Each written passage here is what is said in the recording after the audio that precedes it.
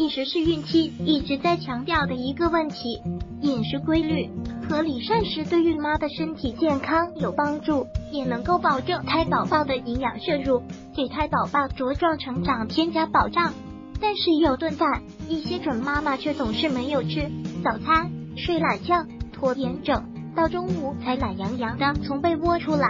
早餐这顿饭自动被过滤掉了，有些准妈妈甚至习以为常了。早餐真的不能省，准妈妈自己觉得不饿，但是胎宝宝还在受饿受苦。对孕妈不良影响一：低血糖。怀孕是特殊时期，准妈妈的身体素质不比平常人。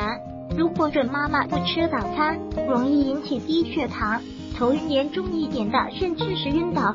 要是体质差点的准妈妈，甚至会有流产的可能性。二，容易出现消化道疾病。准妈妈睡了一晚上，胃肠内的食物都已经被消化光了，空荡荡的胃部急需要食物填充。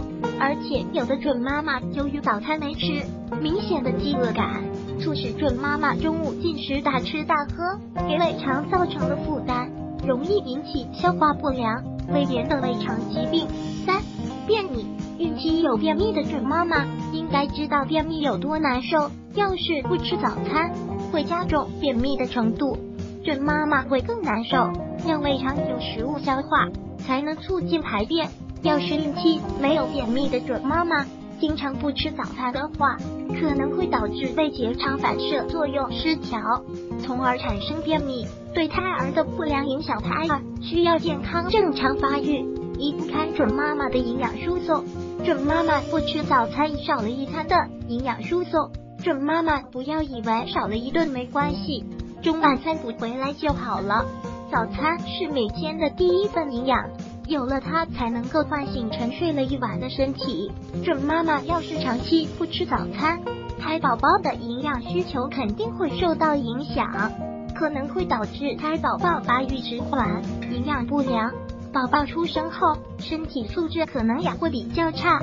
萌宝有话说，早餐这一顿饭，准妈妈要重视起来，不单单是为了自己的身体健康，也要为肚子里的胎宝宝健康着想。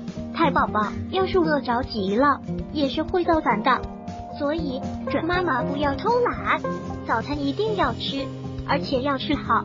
图片来源网络。如果喜欢本视频，请分享并订阅本频道。